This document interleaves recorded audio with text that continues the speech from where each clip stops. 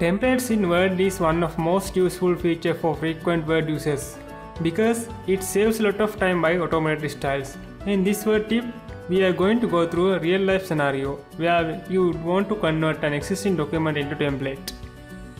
My scenario is helping out my brother who is taking online courses and is required to write up these reports for assignments. The reports have to be identical in their looks, look and feel. So after helping him in second time recreate the formatting, the headers, the footers, etc. I thought it's a time to now to create templates so we never have to go through those steps again.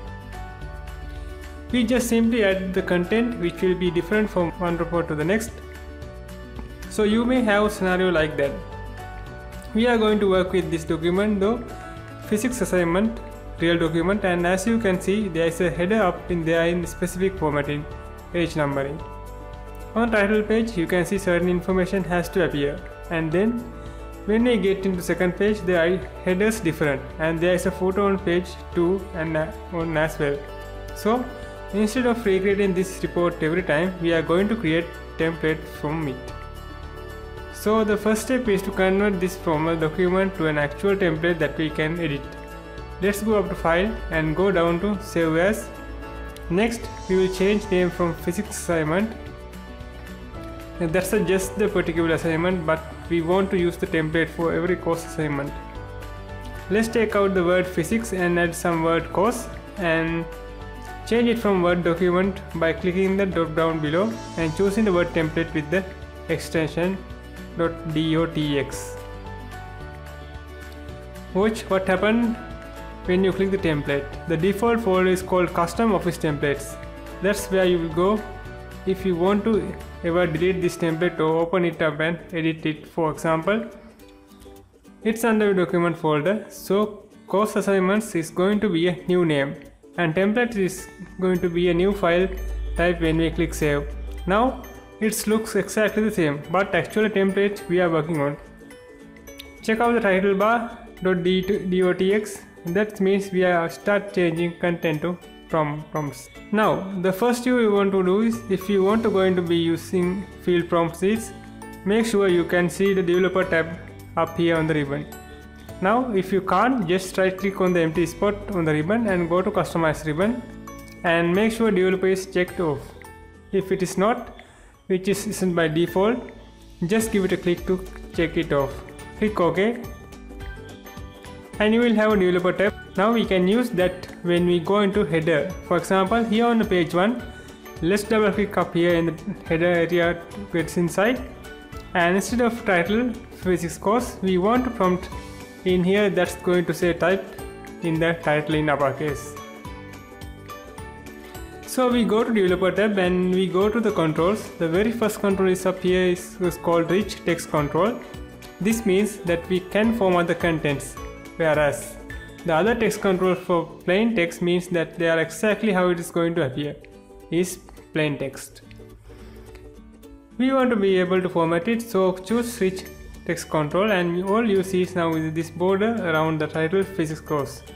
It is now control and it's still highlighted so we can type right over it and we can do it in all caps.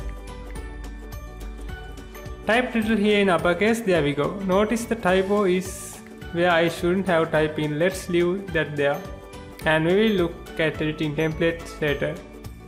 Excellent. Now we can actually get out of the header by double clicking down below in content area. Notice the new running head that stays there just the way it is. But there's but there will be prompt to type in actual title in the uppercase. The same can be done right here on this title page instead of title, the name which may be always the same we can leave it uh, leave it there. The course name will change the date will change and let's put some controls here as well. So we will select physics course here just the title. Don't need to extra space at the end and we will go back to developer tab and change it up to the change it up for a rich text control. There we go. And now we can type it in. Type the title here and you can see the formatting's not uppercase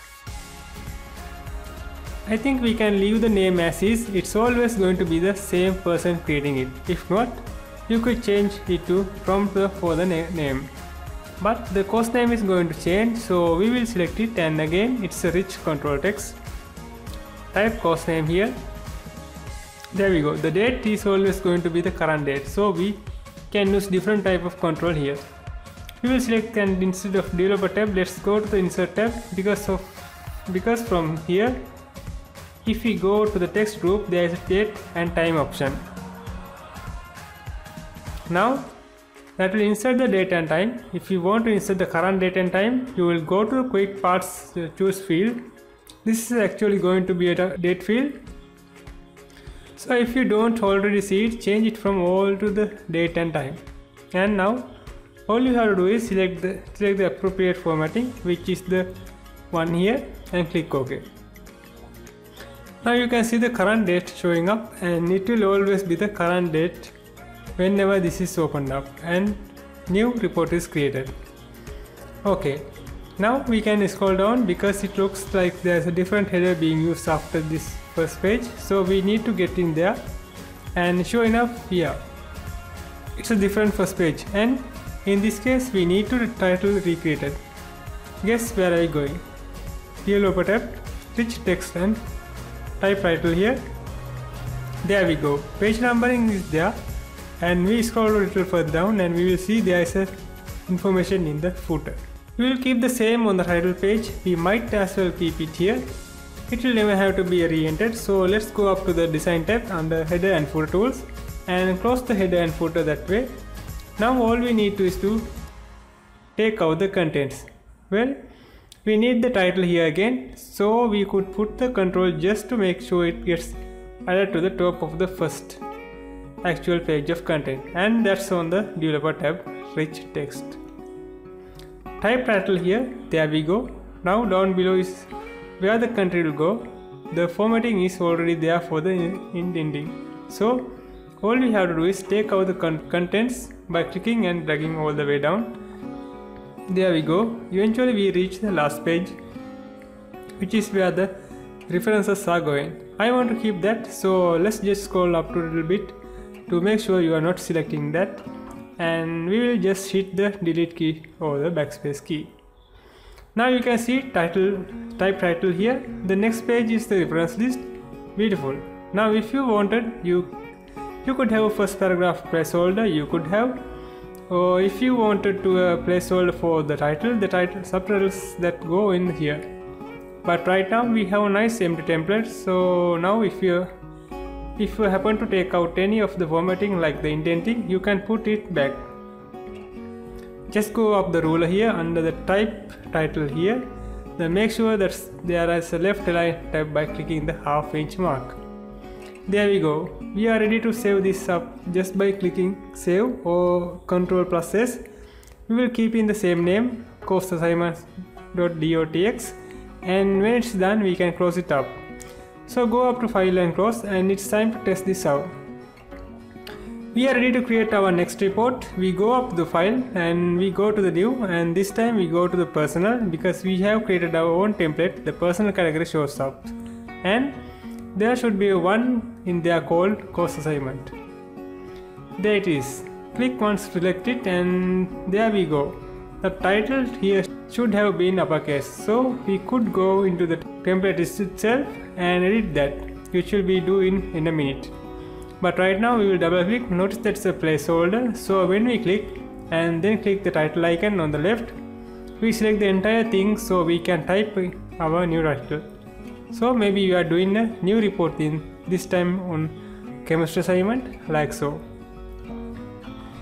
Now we can close up the header. It's there. Where is type in title? Here again. We can select it. Icon to select select everything. And this time it's not uppercase. Chemistry assignment name already there. The course is name. If you wanted to type that in. The date is already there saved sometime. As we move down into the next page type title here Again we double click. This is a placeholder that we can select. There's no changing margins, alignments, etc. The page numbering it's already there. Can close up that, go down to its title itself and then click below over here on the left hand side. we were ready to start typing. All we do now is save up our document. So clicking save is going to save a new document where you need to give it a name and will automatically be saved as a Word document, not as a template. Let's while we are in here, go to open to open up in template. It shows up just like the other documents we have been working with. So we can open it up and if we needed to make changes to it like up here. Click inside the control for our running header, running, running head title and edit that easily done. Close it up, click save and you are saving up the template you can close that up and that's how you are taking existing document to turn it to the template to save yourself a lot of time and effort when creating the same type of document here in Word 2019.